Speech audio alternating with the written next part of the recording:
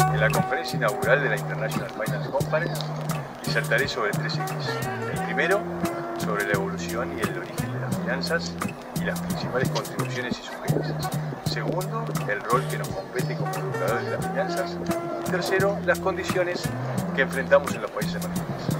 Es un evento importante para las finanzas en general y para los países emergentes en particular. Al mismo tiempo, será una oportunidad para discutir temas de frontera con colegas de diferentes países del 先飞两。